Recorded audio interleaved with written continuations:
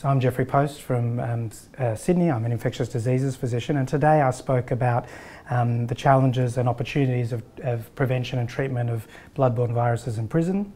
And I talked about um, the challenges of delivering healthcare to people in prison, uh, ranging from discrimination um, and fear, and then uh, more practical aspects as well. And we talked about um, the transmission of hepatitis C and then treatment programs that we've delivered in Australia that show it's um, effective and safe and also about um, access to um, prevention measures for all the bloodborne viruses including immunisation, needle and syringe programs, uh, condoms and other things. And in conclusion, it's pretty clear that we can diagnose people uh, and treat them for bloodborne viruses in prisons, and there are also opportunities to be had in terms of prevention for people who are community members who find themselves in prison.